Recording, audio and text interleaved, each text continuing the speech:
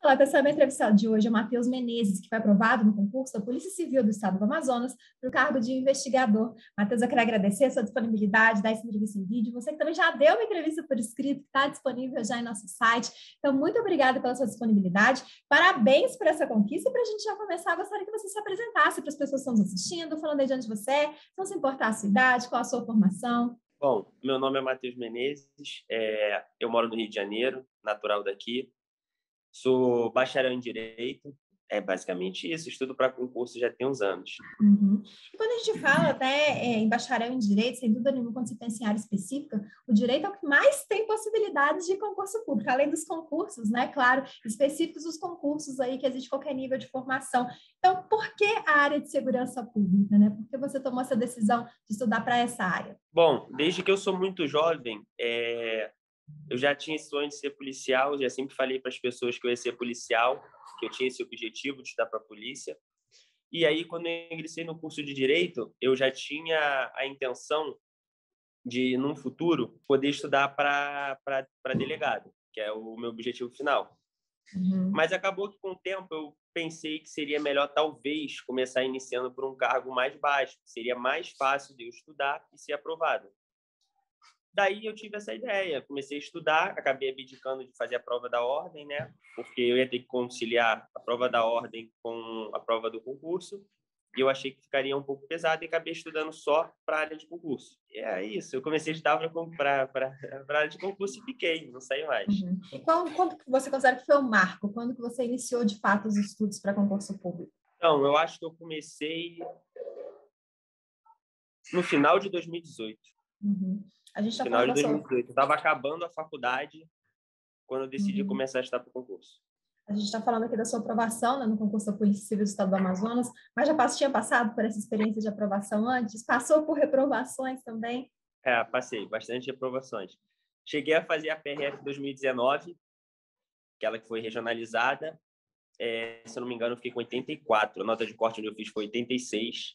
Depois eu fui fazendo outras provas, assim, mais próximas. Fiz a da Polícia Federal 2018, só que eu não acho que eu tinha meses de estudo, então fiz para saber, para conhecer a prova e estudei mesmo foi para a prova da, da Polícia Federal de 2021, que foi que eu não consegui aprovação, que eu fiquei por eu tirei 74 e o corte foi 75. E qual foi a sensação na hora que dessa vez você viu seu nome na lista dos aprovados? Ah, foi uma sensação bem boa, né? A gente espera isso tanto tempo, estuda tanto, se esforça tanto quando acontece, a gente nem acredita. e você que mora no Rio, por curiosidade, sendo nomeado, vai embora para Amazonas, nem para Manaus, né? Para o Amazonas, que pode ser nomeado em qualquer é. cidade. Pretendo ir para lá e de lá a gente continua estudando até o objetivo uhum. final. E acho que essa experiência de assumir para quem pode realmente é, é, muito legal, que eu acho que isso traz um, uma experiência única, né? Você poder ter, poder assumir antes de chegar ao cargo dos sonhos. E durante a sua preparação, você precisou conciliar com o trabalho, com outros projetos pessoais, ou pode se dedicar integralmente aos estudos para concurso público? Então, desde o início, eu sempre me dediquei diretamente aos estudos. Meus pais sempre me deram todo o suporte, tá? Para eu poder só estudar tanto durante a faculdade quanto depois da faculdade. Eu cheguei a fazer estágio, mas depois do estágio meus pais sempre me deram todo o apoio para poder só estudar em busca do meu objetivo. É, eu acredito, né, que quando a pessoa tem, eu não gosto de usar essa palavra só estudar porque parece pouco, né, mas só quem passa por isso sabe o quanto tem uma pressão. Eu acredito que quem precisa conciliar com o trabalho tem a pressão do tempo curto, quem precisa não trabalha tem a pressão, né, de querer passar logo para voltar a ter uma remuneração logo para poder voltar a ser dono de si, digamos assim, né, financeiramente falando logo. Mas nem todo mundo consegue estudar o dia todo, por mais que tenha essa disponibilidade, né? Então, quantas horas por dia você conseguia se dedicar aos estudos para concurso público? Então, durante a minha preparação, eu sempre estudava basicamente entre cinco, seis, sete horas, dependendo do dia. Porque tem dia que a gente acaba rendendo mais, tem dia que a gente acaba rendendo menos, tem dia que a gente acorda a fim de estudar, tem dia que a gente não acorda a fim de estudar. E mesmo quando a gente não acorda a fim de estudar, a gente tem que cumprir aquela meta, né? aquela diária, de pelo menos ali quatro, cinco horas por dia, no mínimo entendeu? Uhum. Para poder ter essa preparação correta e poder cumprir nossa carga horária, estudar todas as matérias direitinho. Uhum. E como que ficou aí o apoio da família, né? Quando ficou sabendo que você ia estudar para concurso público, principalmente para a área policial e com essa possibilidade de ir para longe de casa? Quando eu comecei a preparar para o concurso público, meus pais já conheciam essa área por eles serem concursados. Minha mãe é concursada do estado e do município, professora, meu pai é servidor público federal, ele é servidor do IBGE aposentado, já conhecem mais ou menos a área. Então, apesar que hoje em dia é muito mais complicado, como meu pai sempre falou, na época, muito concurso grande que a gente conhece hoje, Polícia Federal, Polícia Rodoviária Federal, faltavam pessoas. Uhum. É, eles passavam para a prova, só que devido à remuneração ser baixa, o cargo não ser tão valorizado, as pessoas não davam tanto valor acabavam escolhendo outros cargos. Uhum. E hoje em dia é muito mais complicado. Hoje em dia as pessoas brigam por esse cargo, estudam horas, abdicam de saúde, uhum. de família, de vida social, de tudo para poder ingressar nesses cargos. Uhum. Acho que foi uma junção de fatores, né? Eu acho que há, há um tempo atrás também é muito difícil você conseguir estudar para concurso público. Para você estudar, você tinha que se mudar para uma grande capital, um dia ter um cursinho presencial bom, né? Então era muito mais difícil o acesso a bons materiais. Hoje a gente entrevistei pessoas que moram literalmente na roça. Quando eu falo roça, não é uma cidadezinha afastada, é morar numa, na, numa fazenda que fica na zona rural de uma cidade pequena. Então essas pessoas conseguem ter acesso a material de qualidade coisa que antes era só quem estava nos grandes centros, né, que tinha esse acesso a algum material, e às vezes não, ficava, né, não, não tinha acesso à internet com essa facilidade, ficava nem sabendo de concurso público. Né? Então, hoje, isso de todo mundo poder estudar, né, desde que tenha acesso à internet, qualquer um consegue, hoje todo mundo tem acesso à internet, isso faz com que realmente é, seja muito mais disputada uma vaga, que exige muito mais da preparação. Né? E falando em exigir muito mais, você é daqueles que acredita que vida social é um momento de lazer, que é preciso sim. Eu vi que na entrevista você namora, então eu imagino que tem que dar um pouquinho de dedicação também né, à, à, vida, à vida pessoal nesse sentido.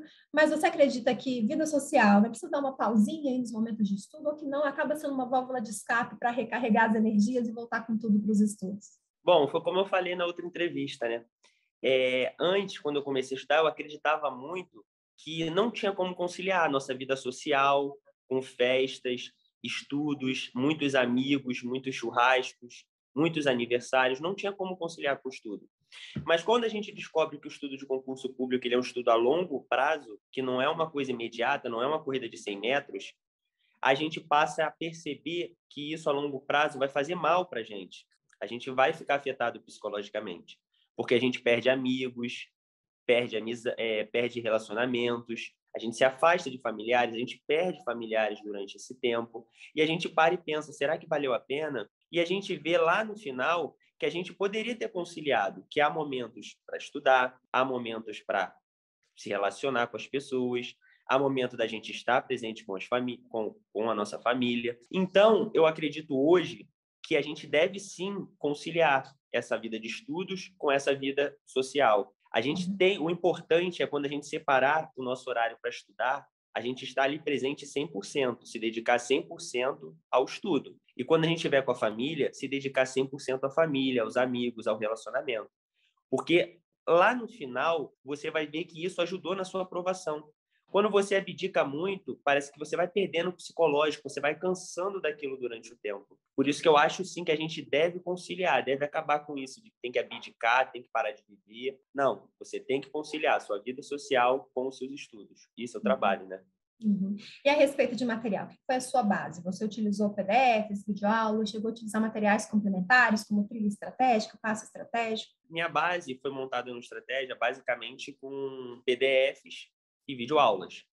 Eu sempre gostei de conciliar a videoaula com o PDF.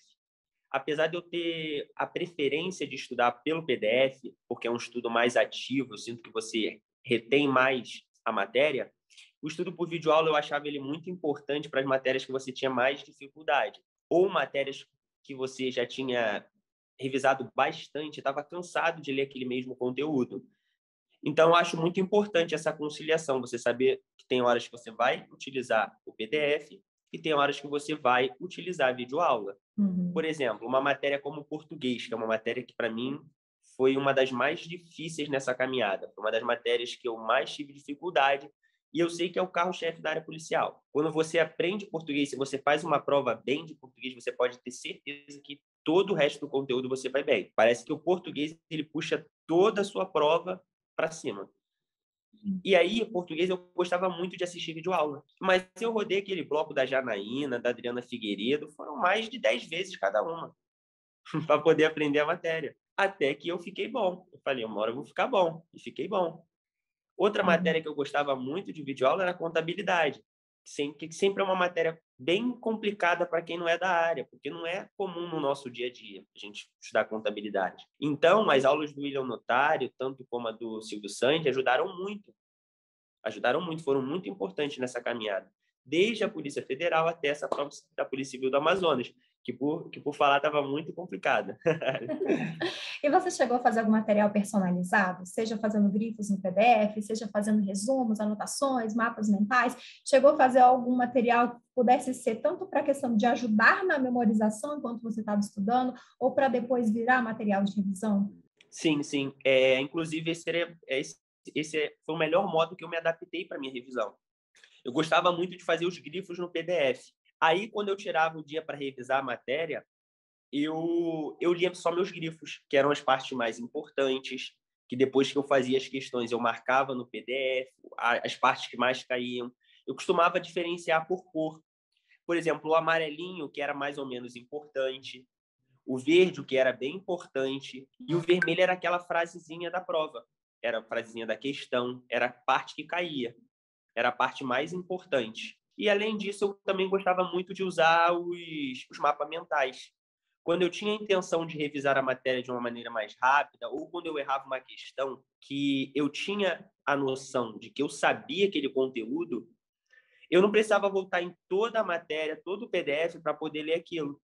Eu simplesmente eu abria o mapa mental, dava uma revisada naquele mapa mental, que eu via onde eu tinha esquecido. E aí, consequentemente, eu ganhava tempo e ganhava em qualidade, porque o mapa mental ele vai direto ali na ferida, vai direto na questão, vai direto nas palavras que as questões costumam usar. E como você montou seu cronograma? Eram quantas matérias por dia e aonde que entravam as revisões? Normalmente, eu dividia meu cronograma em manhã e tarde. A parte da manhã eu estudava duas matérias e a parte da tarde eu estudava uma matéria. Eu gostava de dividir em matérias, uma matéria mais fácil, uma matéria mais difícil. Eu gostava muito de começar com as matérias mais difíceis. Então, normalmente eu começava, por exemplo, segunda de manhã, português. Aí eu estudava português ali duas horinhas. Aí dava uma parada, 20 minutinhos por aí, meia hora. Aí eu estudava outra matéria, uma matéria mais fácil.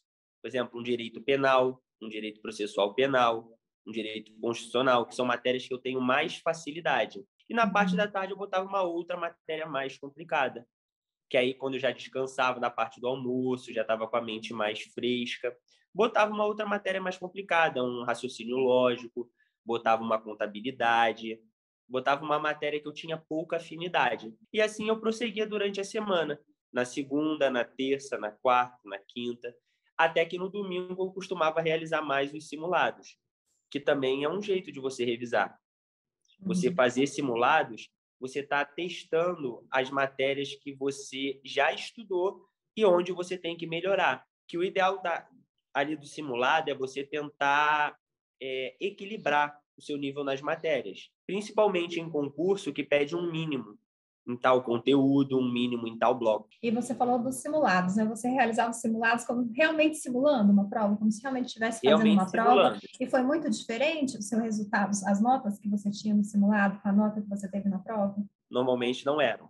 Só, só, só na Polícia Federal que foi bem diferente, mas eu acredito que foi mais por causa do meu psicológico, como eu já estava há hum. bastante tempo eu estava me colocando uma pressão muito grande naquela prova. Ali na época da Polícia Federal, eu já estava estudando muito tempo, muitas horas por dia, e eu já sentia que minha cabeça já não estava legal, por mais que eu me esforçasse. Agora, do contrário de todos os outros simulados que eu fiz, estratégia da Polícia Civil do Rio, da Polícia Civil do Amazonas, da Polícia Civil do Minas, todas bateram bem próxima na minha nota na prova. Uhum.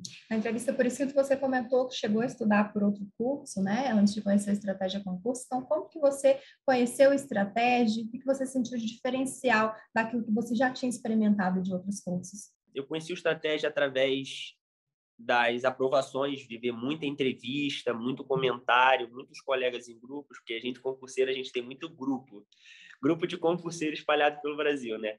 E aí eles sempre comentavam que o, que o, material do estratégia era muito bom, que era muito completo. E daí o, o curso que eu estudava, ele tinha esse defeito, o material escrito dele era muito fraco, muito fraco mesmo. Assim, eu acho que eles resumiam muito o conteúdo em excesso. E às vezes eu sentia falta de certos conteúdos que as pessoas falavam, eu tinha noção geral, mas eu não sabia o fundo que eles estavam falando, justamente porque nesse material não tinha. E quando eu cheguei no estratégia, foi essa a maior diferença que eu tive. Porque eu percebi que o material do estratégia ele é muito profundo. Ele você consegue acessar todo o conteúdo da matéria só através do PDF. Se você lê o PDF, você parece que você está conversando com o professor que o professor está ali te explicando em vídeo aula, só que você está lendo. E aí você percebe que o material do aqui do Estratégia, ele é muito mais completo do que qualquer outro material que a gente vê no mercado. E isso é muito bom para o aluno. Achei interessante isso que você falou, né, de estudar lendo, mas parecer que o professor está falando com você. Às vezes as pessoas me perguntam por que, que eu não estudo para concurso. Você acredita que um dos motivos é justamente esse, que eu pego o PDF, eu consigo ouvir o professor do jeitinho que ele fala no dia a dia ali, e aí me remete a trabalho. Aí eu não consigo concentrar nos estudos e fico sempre lembrando de trabalho. Mas é muito legal, esse PDF parece que conversa com você, né? Não é algo isolado como se você estivesse lendo um livro, realmente é como se o professor estivesse ali conversando com você. E na sua prova ainda teve a prova discursiva ainda, né? Que hoje em dia tem um peso muito grande nas provas e é capaz aí até de eliminar pessoas que estão em ótimas colocações na prova objetiva. Então, como foi a sua preparação para a discursiva e a nota fez diferença na sua classificação? É, a nota discursiva ainda não saiu o resultado, o resultado está para sair ainda esse mês, o preliminar. O meu método de estudo para a discursiva foi basicamente nos simulados. Como já era um conteúdo que caía na prova e eu já estudava o conteúdo que poderia cair, aos domingos, normalmente, né, que é quando eu fazia simulado, todo domingo eu fazia simulado, eu estudava para a prova discursiva. Quando eu fazia o simulado, sempre tinham ali duas, três, quatro questões para responder durante o tópico da redação, né, que é a prova uhum. discursiva. E daí eu respondia a pergunta depois eu comparava com o gabarito do professor, via se eu estava tendo o raciocínio correto, via se eu estava indo pelo lado certo que o professor estava falando para ir. E se tivesse algum erro, eu pegava e refazia, marcava o erro, a caneta e escrevia novamente o que o professor mandava escrever. E desse modo eu ia estudando para a matéria discursiva. Uhum. Matheus, pensando na sua preparação como um todo, você consegue apontar erros? Sejam erros que você conseguiu corrigir a tempo, ou erros que hoje você percebe, né, que são pontos aí que você pode melhorar? E o que você considera também que foram os seus principais acertos? Eu considero que o maior erro de todo concurseiro é a revisão. E acho que o meu também não foi diferente no início. No início eu me preocupava muito em correr com a matéria, em acelerar minha preparação porque eu achava que quanto mais conteúdo eu visse, mais preparado eu ia estar, o que não é verdade. Às vezes, é melhor a gente mais devagar, retendo melhor o conteúdo, do que correr. Porque, como eu te falei, concurso público não é uma corrida de 100 metros, é uma corrida longa. Então, o ideal é você ir estudando e revisando ao mesmo tempo, para você poder uhum. chegar lá na frente, você ver que você teve o conteúdo retido é melhor do que você correr com a matéria, não reter o conteúdo direito, que foi o que eu acho que foi o meu maior erro, foi negligenciar as revisões, e chegar lá na frente você sentir falta dessa revisão e ter que voltar tudo de novo para poder ler todos os PDFs, porque você não você não revisou direito. Não, e acho que o meu maior acerto foi perceber isso, né? E criar meu método de revisão. Porque você vai encontrar um monte de método de revisão hoje aí, e, e, eu acredito que não existe um método certo e um método errado de você fazer sua revisão. Eu acho que você tem que seguir a revisão é, da melhor maneira que você se adaptar. Uhum. Por exemplo, a gente vê falar muito da revisão 24 730. Você revisa com 24, com 7 dias e com 30. Eu não me adaptei bem. Apesar de eu ter tempo suficiente para fazer essas revisões, não foi um método que me agradou e que eu vi resultado. O método que eu vi mais resultado foi aquele que eu expliquei na, na, naquela outra entrevista. Eu preferi estudar uma quantidade de PDFs, depois eu voltava revisando esses PDFs. Por exemplo, eu estava três PDFs da matéria. Aí depois, no próximo dia dessa matéria, eu voltava revisando de novo do início, a 00, aí no dia seguinte a 01, e assim por diante. De três em três PDFs, eu ia voltando, revisando todo o conteúdo para ele manter fresco na minha mente. E assim foi o jeito que eu obtive os melhores resultados, na minha opinião, é claro. E só para acrescentar, pessoal, quando o Matheus fala né, em outra entrevista, a entrevista por escrito está disponível no nosso site. Então, vale a pena entrar no site, conferir lá. Se não achar direto no site, vai no site de busca, né, no Google, digita o nome e sobrenome dele, que vai estar tá aparecendo aqui no nosso vídeo também. E Estratégia Concurso, você acha lá a entrevista por escrito, vale a pena que acaba sendo um complemento, né? Essas duas, essas duas versões, digamos assim. A gente sabe que na área policial, né, a prova objetiva e discursiva é onde tem o um filtro maior, mas é só o começo, né? Os concursos aí costumam às vezes demorar até um ano para de fato serem finalizados. E entre uma etapa importantíssima também que elimina muita gente está o TAF. Como que está a sua preparação para essa parte de certame? Então, minha preparação para o TAF eu faço sozinho mesmo. Sempre gostei de praticar esporte, faço esporte. Costumo treinar para o TAF duas, três vezes por semana. Nos tempos eu estou fazendo legal, sempre corri, Natação que eu estou meio afastado, mas como eu já estava batendo o tempo da Polícia Federal na época que eu estava treinando, para mim está bem mais tranquilo, porque pode-se dizer que o tempo da, da PC AM é bem mais tranquilo de se fazer os 50 metros do que o da Polícia Federal. Tá tudo uhum. tranquilo, correndo, nadando, acho que vai dar tudo certo. Estudar para concurso não é fácil, né? Acho que só quem estuda sabe realmente, por mais que a gente esteja próximo, só quem estuda sabe as dificuldades, a pressão que é. O que, que você acha que é o mais difícil? Está ligado realmente ao aprendizado, ao conteúdo, está ligado mais aos fatores psicológicos, né? As renúncias, as pressões, e você em algum momento chegou a pensar em desistir? Eu acho que o que está mais ligado é esse fator psicológico. Principalmente para quem já tem uma vida que mais agitada, que gosta de estar em festa, com família, com os amigos. Você abdicar de tudo isso no início é muito complicado. E tanto como você abdicar, conciliar acaba ficando muito complicado. Porque estudo é, um, é, o, é o que eu sempre digo, eu acho mais difícil, como eu já trabalhei, já estudei, eu acho mais difícil você estudar do que você trabalhar. Trabalhar, você tem alguém ali que te controla. Se você não for, você é demitido, você você vai perder sua remuneração, você perde seu emprego. Agora estudar não. Estudar você é o seu patrão, você decide seu horário. Se você faltar, ninguém vai fazer nada com você, porque é você que está descumprindo o seu horário. Então eu acho que é muito mais muito mais complicado você ter a disciplina no estudo do que no trabalho. Todo dia a gente que estuda, a gente pensa em desistir. Quem fala isso está mentindo. Todo dia, quando você acorda, você pensa: o que, que eu estou fazendo da minha vida?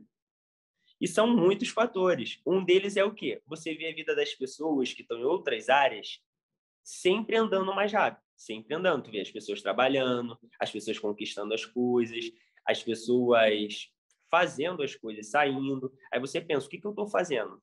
Porque parece quando você estuda que a tua vida está ali parada, que você não está andando, que você não está fluindo. É essa sensação que você tem quando você estuda. É como se você vivesse todos os dias da mesma forma como se sua vida tivesse parada. Só que você sabe que quando você chegar no objetivo, sua vida vai dar um salto muito grande. Porque o serviço público, ele te põe num lugar que muitas pessoas ainda não chegaram. Porque você vai ter uma grande remuneração, você vai ter estabilidade, você vai ter conforto, você vai ter o prestígio da profissão, de saber que ninguém te colocou ali. Você chegou ali com as suas próprias pernas. Tudo isso é o que a gente pensa na hora que está ali. E a gente e a cada reprovação a gente pensa: será que eu estou fazendo certo? Será que eu estou no caminho certo? Será que eu estou estudando certo? É esse pensamento que a gente tem. É o que eu sempre falo para as pessoas.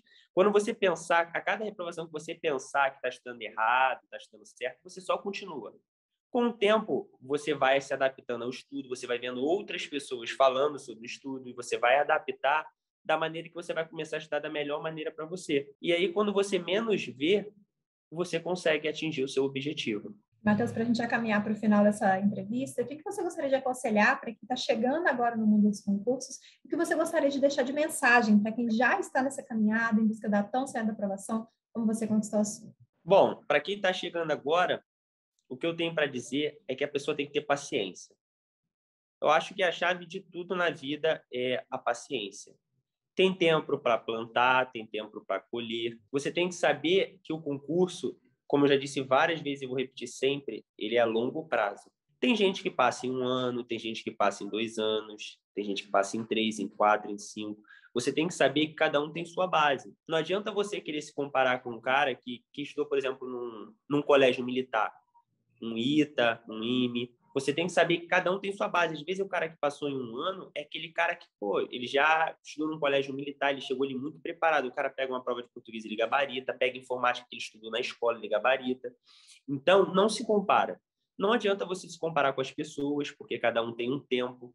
Você tem um tempo, eu tenho um tempo, a outra pessoa tem outro tempo. E paciência. Estuda, continua na caminhada, persevera e tenta sempre se manter motivado porque eu acho que é uma das coisas que andam lado a lado com a disciplina é a motivação. Se você não for uma pessoa motivada, você não está ali se motivando, não está assistindo um vídeo, não está assistindo um, um, programa, uma coisa que te jogue para cima, você acaba abdicando um pouco da disciplina. Você tem que estar tá sempre ali naquele meio, vendo coisas, ouvindo coisas que vão te botar para cima, que vão te botar para estudar. Porque ao longo da caminhada a gente tem muitas incertezas. É política, é governo, a gente não sabe quando vem a prova, e se vem, se a gente vai estar preparado. Porque às vezes você pode estar estudando ali há um ano, um ano e pouco, e ainda não se sentir preparado, a prova vir. E você sabe se você errar nessa prova, daqui a é só três anos, dois anos, quatro anos novamente aquela prova. Saiba que é a longo prazo. Tenha paciência, estude com calma, viva também, não deixe de viver porque ao longo dessa caminhada isso vai fazer muita diferença nos seus resultados. Uhum. Matheus, eu quero agradecer mais uma vez pela sua disponibilidade de participar dessa entrevista no vídeo. Parabéns pela conquista. Obrigado. E para você que está nos assistindo, você já sabe, quiser conferir a entrevista por escrito do Matheus, também ficar por dentro de tudo que está acontecendo no mundo dos concursos, é só acessar nosso site, estratégiaconcursos.com.br. Um grande abraço e até a próxima. Tchau, tchau.